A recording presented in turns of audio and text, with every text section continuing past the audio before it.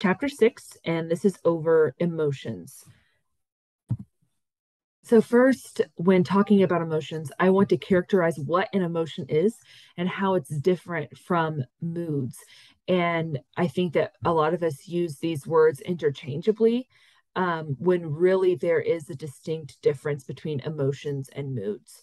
So, emotions are brief, specific responses, both psychological and physiological, that helps people meet goals, including social goals. goals.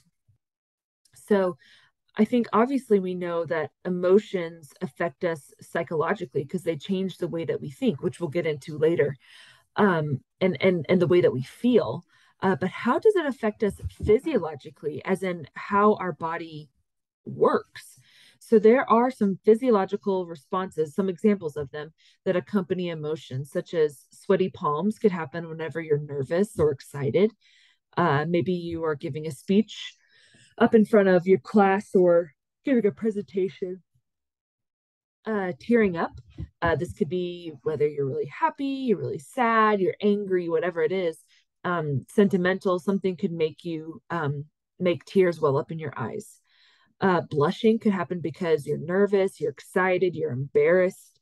Uh, goosebumps be- could be because you're excited, because you're scared, because um, you're frightened and um, these typically only last for seconds or minutes and when i say typically is the the definition is that they last for seconds or minutes but there are times you could feel emotions for longer um, because maybe the situation you're in is is lasting longer than that so maybe you are always going to be a nervous public speaker and so your and your presentation is an hour long or two hours long, whatever it is, or you're in a play and so it's two hours long, so you're feeling nervous. So that is going to obviously last longer than seconds or minutes, but it's not going to last days. Okay. So moods can last for hours or days. So the, the time difference between emotions and moods and how long they last um, is the main difference between the two. So Mood disorders, including depressions and generalized anxiety, last for weeks, months, years. So it's not it's not an emotional disorder, it's a mood disorder. So that being said, um, this is what I want you to take away take away from the last slide is emotions are specific and have a focus.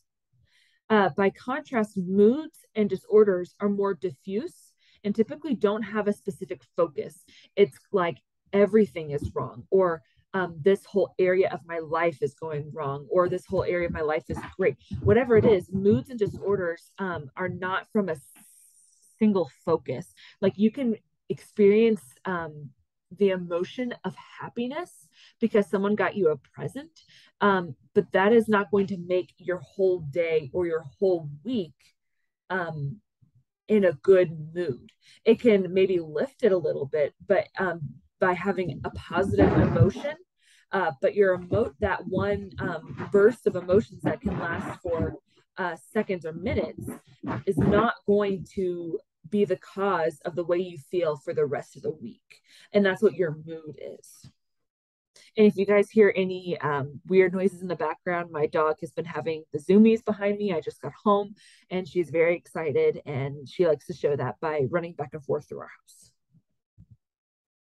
Okay, so why do we even have emotions? What are the purposes of emotions? And so, um, first, is that emotions help us interpret our surrounding circumstances. Uh, it helps us prioritize which events you attend to in an environment, um, the ones that make you feel strongly or that make you feel a certain way are the ones that um, are going to prompt you um, to doing something to um, to prioritize it. Um, it influences how much weight you assign them. Something that makes you feel stronger than something else is going to make is going to elicit a stronger reaction. Okay. Um, it's going to determine how you reason about them. It's going to determine what you think about the event. Okay. And they affect whether you deem them right or wrong. There are some things that we know that they are right or they are wrong based off how we feel about them, about, about our emotions. Okay. Um, second is that emotions prompt us to act.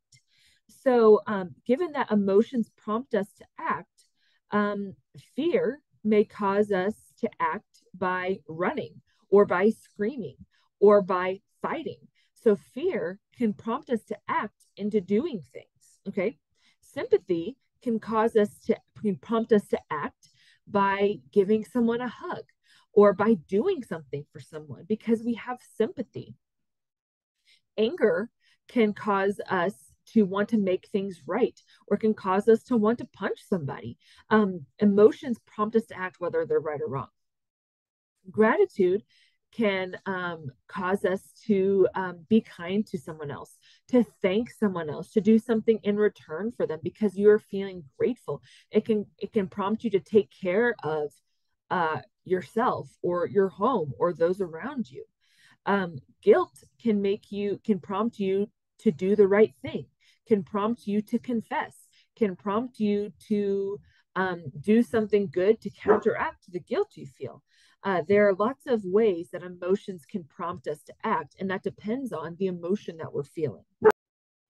So, Dar- so Darwin did have um, these thoughts about emotional expression and how um, maybe we all received our ability to express emotions from um, the same ancestors. Okay, so um, the print he he calls this the principle of serviceable associated habits.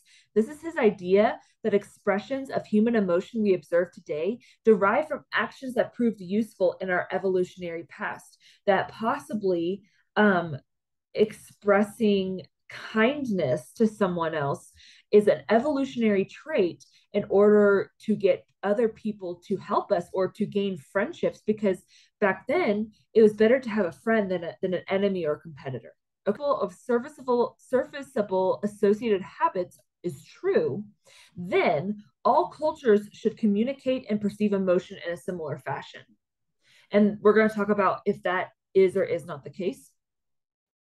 And if that's also the case, then blind individuals will show expressions similar to those of sighted people because it's not whether or not they can see, is it's handed down evolution or evolutional. It is ha- um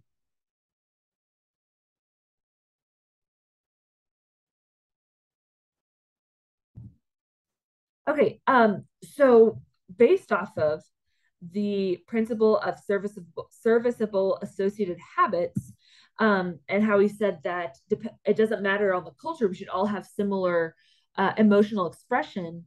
Well, that may not be the case. Um, it definitely changes from culture to culture, and that is what our journal is going to be about. So, cultures seem to be defined by particular emotions. Uh, so we have uh, our focal emotions. These are emotions that are particularly common within a particular culture. Um, kind of the the emotion that a culture is known for. Um, so embarrassment and shame. These are emotions that convey modesty and appreciation of others' opinions. So um, if if you are very concerned about what others think of you it's easy to become embarrassed or shameful of something that you've done or said. Um, and these are core concerns of interdependent cultures. Of course um, if you're more intertwined with people if you're more part of a community then you're going to be more uh, conscious of what others think of you okay? Um, because you depend on them and they depend on you so in the United States, excitement is greatly valued because it, it enables people to pursue a cultural ideal of independent action and self expression. So that is um, what would be considered maybe a focal emotion of the United States. Uh, and then there's also display rules. And this is um, a type of focal emotion. Um, it, it, fits underneath focal emotions in that um, it, it really changes depending on the culture. Um, but this is a culturally specific rule that governs how, when, and to whom people express these emotions. Um, so maybe you may feel happiness, but or feel excitement, uh, but maybe in certain cultures it's not polite or not not deemed proper to ex- to display the, the giddy excitement that you may feel that maybe in the, in the United States, if we just won something, we may jump and down, jump up and down and squeal with joy and delight and Um, we may go run and tell everyone about it, and we can be loud and boisterous. But maybe in another culture, where while someone may feel that way, they may say inside, "I can't believe I just won this. You know, I'm so excited. This is going to change my life." Uh, but to others in social settings, they may have to mask the emotion because it's not deemed proper. And so that's what the display rules are is is not just it's not about what to feel it's how to feel it and how to express it. Um you may mask emotion so you um you may uh change it or you may just neutralize it and have a neutral um expression so how do emotions um, affect social relationships uh, emotions prioritize the information we should focus on and factor into our decisions and actions. So, um, say we are meeting someone new and the emotion we're feeling is uh, comfortable and happy and intrigued. Um, that would factor into our decision to maybe want to hang out with them some more. Um, maybe go, you know, maybe you're at a party and you decide to go um, go out to eat with them, uh, go get dinner, and then you're going to hang out. You're going to introduce them to your friends. Um, it's going to be a, a, great time, and you can turn this, uh, f- feel this turning into some t- some sort of friendship. Okay, um, but what if uh, during that same interaction, you're feeling kind of guarded and maybe a little creeped out and kind of uneasy? Well, that is going to factor into into your decision and actions of um, maybe you don't continue the conversation anymore or you cut it short or um, you don't really want to talk to that person again um, so emotions prioritize the information we, we should focus on is maybe the way i'm feeling is telling me how i should act okay Emotions also influence perception, which we're going to talk about on the next slide. Uh, we perceive events in ways that are consistent with the emotions we are currently feeling. And that brings us to the broaden and build hypothesis.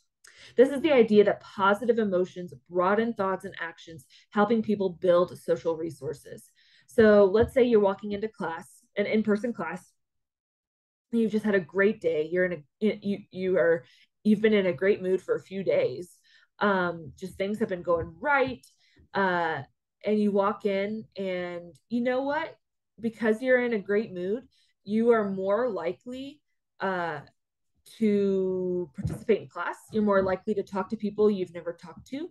Um, and, and because of that, that is also bringing on more positive emotions. So it's kind of like a positive cycle upwards that the more positivity you're bringing in, the more you you are giving and the more you are receiving in your social life. Um, and so it is broadening and building your horizons. Okay, so what if you come to class and you've been in a negative mood for a few days? Some bad things have happened. Um, so you, are feeling some negative emotions um, those tend to narrow your attention on the details of what you are perceiving it's going to going to cause you to um, view maybe even my class differently that um, maybe things are getting on your nerves maybe the people um, friends or not friends in the class are annoying you with the comments they're making in class. You don't want to talk to anybody. You're probably not going to talk to anyone you haven't talked to before because you're just not feeling it. Don't don't talk to me. Don't mess with me.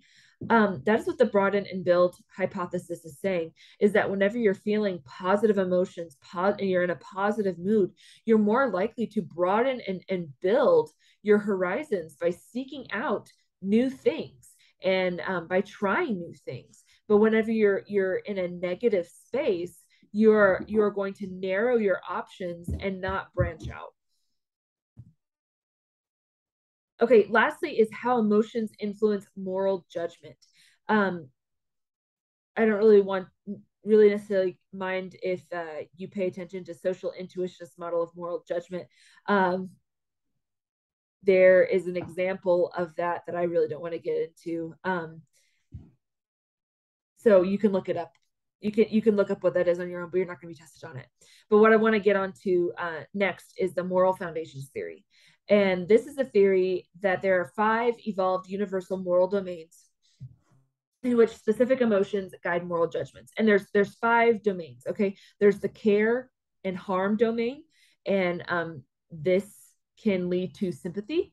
So um, you are you are concerned about whether someone is being someone or something is being cared for or being harmed, and uh, you feel sympathy uh, towards you. You want this person or this thing to be uh, cared for.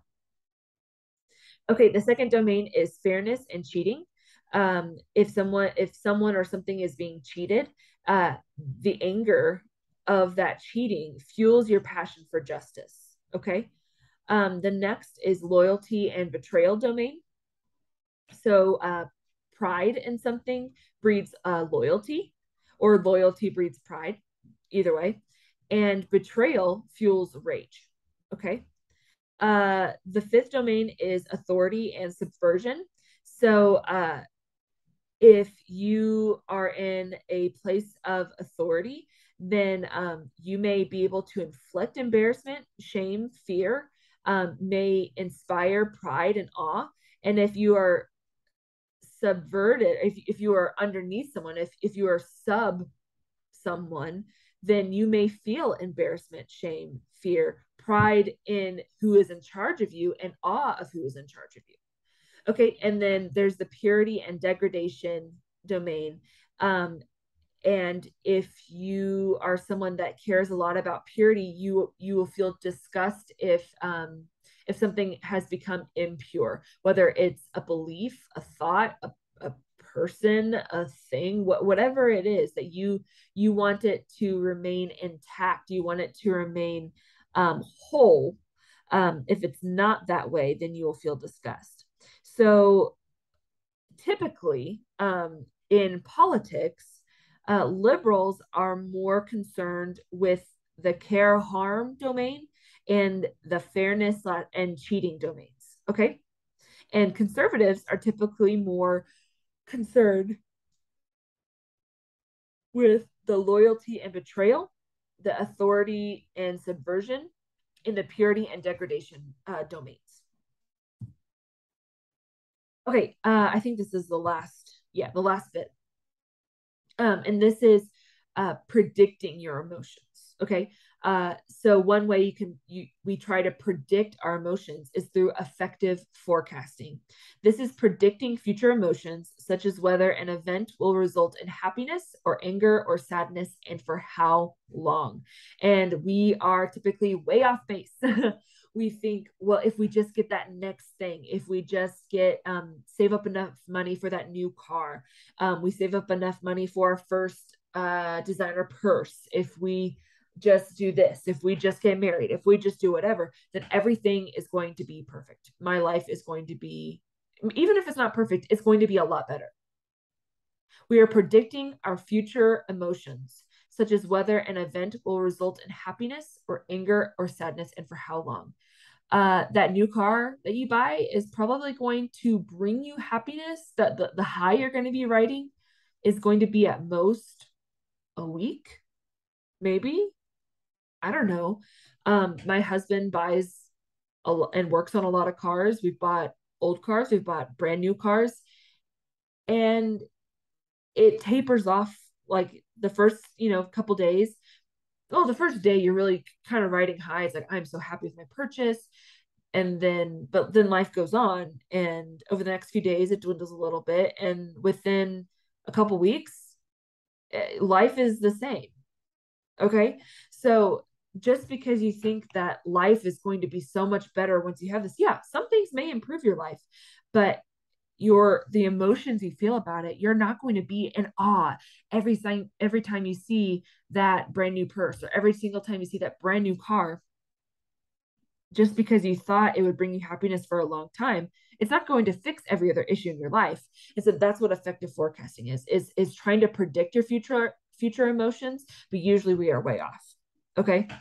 Next is immune neglect. This is a tendency for people to underestimate their capacity to be resilient in responding to difficult life events, which leads them to overestimate the extent to which life's problems will, will reduce their personal well being.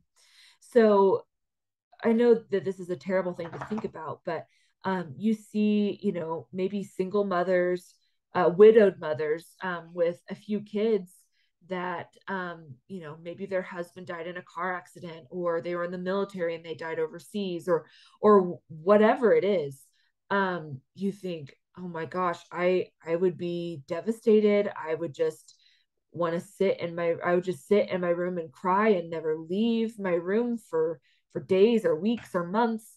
I would be completely useless. It it would it would hurt so bad. I couldn't even imagine that and yes while it may hurt a lot um, it may affect you a lot um, especially whenever you have some something else um, that it requires you to act such as children or or another responsibility um, we we tend to underestimate our capacity to be resilient in responding to these life events. You know, whenever you think about maybe losing a spouse or losing a child or losing whatever, we just we we think about how heavy that would hit us um not just emotionally but um physically and socially and really every single aspect but we fail to realize how resilient we are especially whenever we have to keep moving forward because life requires us to do so. So, by underestimating our capacities to be resilient, we're also overestimating the extent to which life's problems will reduce our personal well being. Yes, it may hurt, but life will go on and uh, we will adapt. Okay. Last slide uh, is on focalism. And this is a tendency to focus too much on a central aspect of an event while neglecting the possible impact of associated factors or other events. Um, so this this can kind of tie into affective forecasting is um, maybe my life will be perfect or be, will just be wonderful once I'm married. But you won't take into account that um, perhaps um, you may have trouble conceiving children if you want children. Um, it may take a long time to afford the house that you want. Um, maybe you have a pet that dies. Um, maybe you have some family trouble. Um, maybe you um, are having trouble in your job. while one part of your life may be great, we cannot focus too much on that one aspect of our lives and think that once we have that, everything is going to be great. Or if this happens, then everything will be absolute trash because we are neglecting the possible impact of other events or other factors that could affect that one centrally focused thing. Um, so you might be putting too much pressure on the one thing to maintain your happiness while the rest of your life is going on around you. So there's a study that was done that um, framed differently how people felt about their lives. So um, in this study, they they asked a group of people um, the question first: How happy are you with your life in general on a scale of one to ten? And a lot of people would say, you know, six, seven, eight, and then they would say, How many dates have you had in the last month? And you know, some of these people would say zero, some would say ten, so you know, whatever. And those people typically had higher scores on the how happy are you with your life in general um if they were asked the the, the date question second. However if they were asked the date question first how many dates have you had in the last month? You know someone may say zero or someone may say five or you know whether they went well or bad whatever.